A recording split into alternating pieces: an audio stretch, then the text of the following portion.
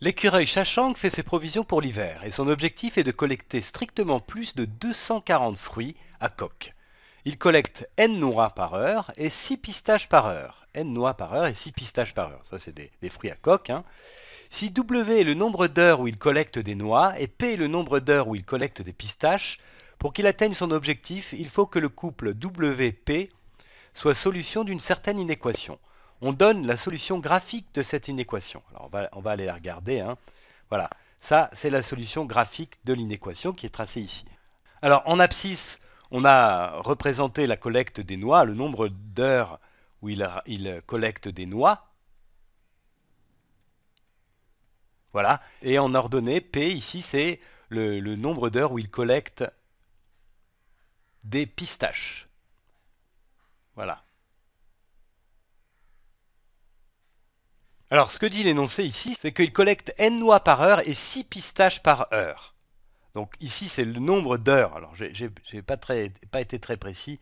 Ici, c'est la durée de la collecte des pistaches. Et en bas, en abscisse, hein, c'est la durée de la collecte des noix. Hein. Alors, ce que dit l'énoncé, c'est que que l'écureuil, il, il collecte n noix par heure et 6 pistaches par heure.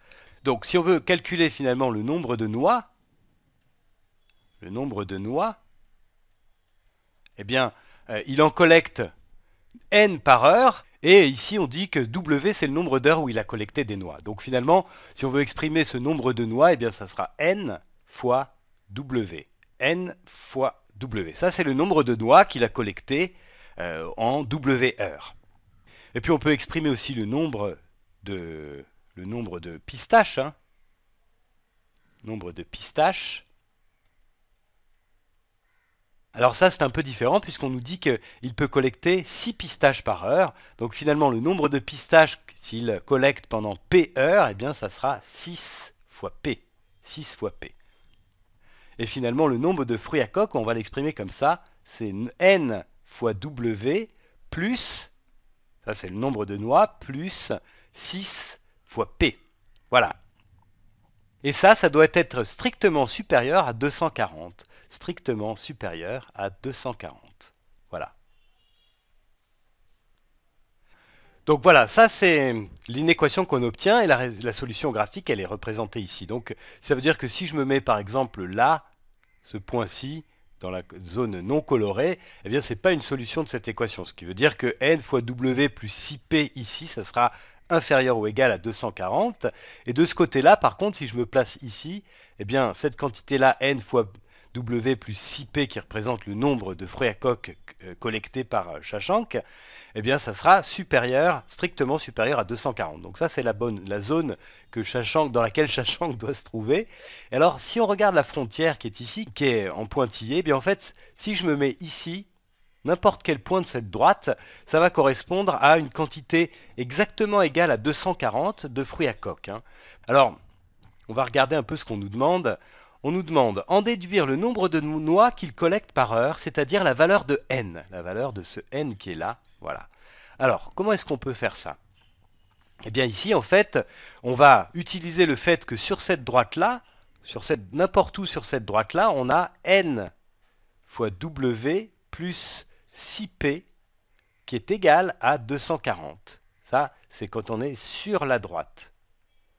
Sur la droite. Voilà.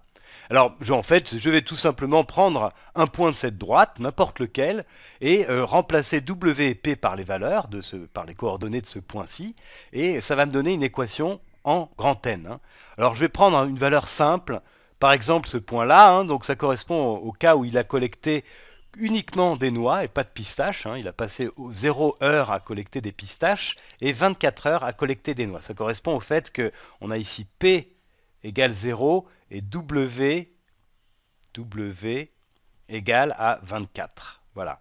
Alors il y a une petite remarque qu'on peut faire, c'est que j'aurais été, pu, j'aurais été tenté de choisir ce, point-ci, mais W égale 0, ça, ça va annuler ce terme-là. Donc j'aurai une inéquation où le terme n que je cherche à déterminer aura disparu, donc ça ne sera pas très utile. Donc j'ai pris, je prends ce point-là, j'aurais pu prendre n'importe lequel, hein, mais celui-là va simplifier un petit peu les choses parce que finalement, ce que j'ai en remplaçant, donc je prends cette inéquation-là, je remplace p par 0 et w par 24, en fait j'obtiens 24 fois n, donc c'est grand N fois 24 hein, plutôt, mais là je l'écris comme ça, 24 fois grand N, plus 6 fois 0, et ça va être égal à 240. Voilà. Donc ici, ben, ça, 6 fois 0, ça fait 0. Là, j'ai 24n qui est égal à 240. Donc n, c'est 240 sur 24. 240 sur 24, ça, ça fait 10. Voilà. Alors du coup, je sais que n est égal à 10. n est égal à 10. Et donc, il collecte 10 noix par heure et 6 pistaches par heure. Alors, on nous pose une autre question. Il a collecté des noix pendant 10 heures et des pistaches pendant 16 heures. A-t-il atteint son objectif?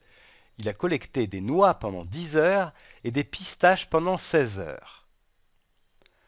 Alors, 10 heures pour la collecte des noix. On va se placer ici. Hein.